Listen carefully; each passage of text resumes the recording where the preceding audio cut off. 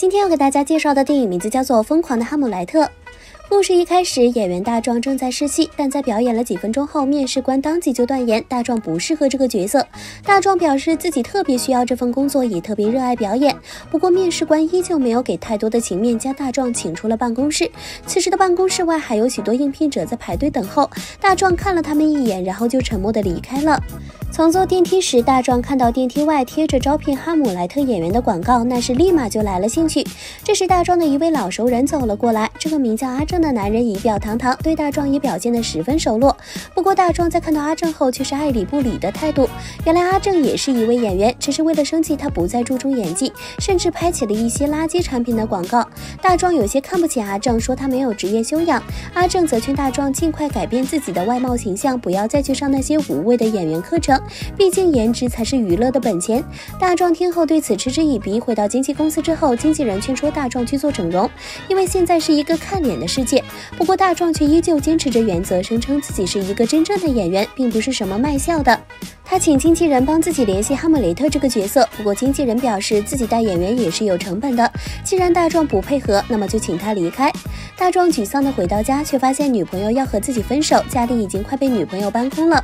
更惨的是，房东也把没钱交租的自己给赶了出来。此时的大壮已经一无所有了，他抱着最后一次希望，按照电梯上的广告地址去应聘哈姆莱特。到这里才发现，阿正居然也来应聘了。阿正跟大壮打了个赌，表示就算实在这么一个免费荒凉的剧院，导演也不会要大壮，而是会选择外形完美的自己。之后两人一起走了进去。此时的导演正在导戏，导演让饰演哈姆雷特的演员亲吻手里的头骨，演员不愿意，声称这头骨是塑料做的。导演一听，立马大怒，大声询问自己的道具怎么又丢了。之后抽出空来的导演在办公室里接见了大壮和阿正。导演看了看阿正，声称他的气质和长相都非常适合扮演哈姆莱特。导演决定将史上独一无二的哈姆莱特这一角色交给阿正。大壮有些生气，这可是哈姆莱特呀，选角色怎么能这么随便？他看着嘚瑟的阿正，越想越生气，于是直接溜进了化妆间，拿绳子勒死了阿正。随后处理好尸体的大壮走到剧场上，告诉导演阿正因为怯场提前离去了，并向导演毛遂自荐，说自己绝对敬业给力。没办法，正缺人手的导演只能表示先用大壮试一试。就在大壮对着化妆镜尝试出哈姆雷特台词的时候，导演就进来了。导演表示大壮即将饰演的不是哈姆雷特，而是一个已经死去二十三年的头盖骨。大壮有点懵，导演接着说道：“自己为了逼真，一般都选用真的死人来演的。”大壮听到这里有些害怕，他跑到了另外一个房间里，结果发现里面全是死人。导演杀了近一半的剧组人员，就是为了找到一个合适的头骨。之后，导演默默拿起了斧头，他告诉大壮，本来阿正更加适合用来制作头盖骨，因为他的骨骼部位看起来更加突出。不过现在换成大壮也不是不可以。紧接着，导演宰掉了大壮，并扒掉了他的脸皮。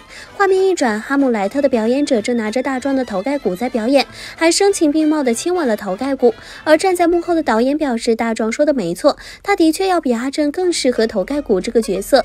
影片的最后，随着警笛声，警察闯入了这个免费的剧院，逮捕补了这个几乎变态的剧组。而剧院外到处都堆着垃圾，大壮的脸皮就这么被随意的扔在垃圾堆里，最后被狗叼走了。不得不说，现在的确是一个看脸的世界。但为什么还是有很多长相平平但依然受到大众热捧的实力派演员？